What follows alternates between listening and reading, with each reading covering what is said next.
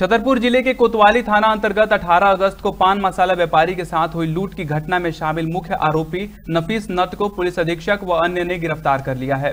दरअसल मुख्य आरोपी घटना के दिन से फरार चल रहा था, जिस पर पुलिस अधीक्षक अगम जैन ने दस हज़ार रुपए का इनाम भी घोषित किया था।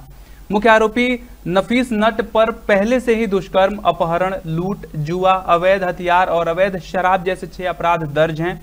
घटना में शामिल अन्य आठ आरोपियों को पहले ही गिरफ़्तार कर जेल भेजा जा चुका है। आज पुलिस लाइन में प्रेस कॉन्फ्रेंस हॉल में आयोजित पत्रकार वार्ता में एडिशनल एसपी विक्रम सिंह ने बताया कि मुख्य आरोपी नफीस नट को अभिरक्षा में लिया गया है और उसके कब्जे से दो लाख पचास हज़ार रुपए नकद, बारह बोर का देशी कट्टा और दो एंड्रॉयड मोबाइल भी जब्त किए गए हैं। अब तक इस लूट में कुल 16 लाख रुपए की नकदी बरामद की जा चुकी है।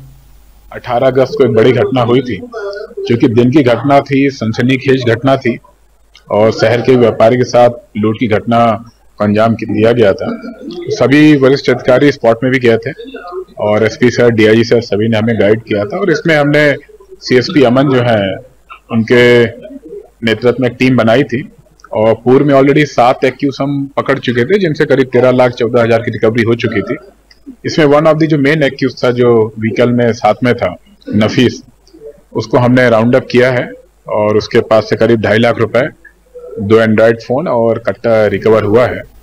और इसी इन्वेस्टिगेशन में हमें जब आगे बातचीत पता लगे, उसका भाई भी इसमें इन्वॉल्व है, जिसमें रेकी कर रहा था, उसका नाम भी हम इस इन्वेस्टिगेशन में बढ़ा रहे हैं। और इसमें रिकवरी भी हमारी ऑलमोस्ट थोड़ी सी बची है 90 परसेंट से ज़्यादा रिकवरी हो चुकी है।